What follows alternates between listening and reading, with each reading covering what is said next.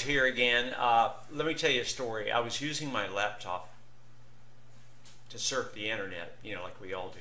Uh, unknowingly, I ended up installing this really dodgy kind of antivirus program onto the system and let me tell you, that was just the beginning of all my troubles.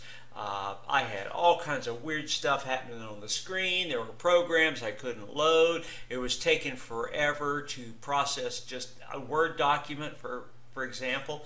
And I knew that there was some bad stuff going on in there eh, caused by what I had downloaded. It was my own fault, really.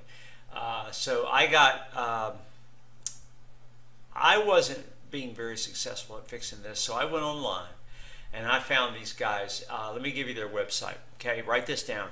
It's onlinepctechnicians.com.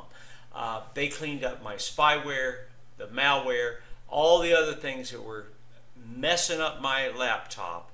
And in the meantime, while they were doing all that, I went and had lunch.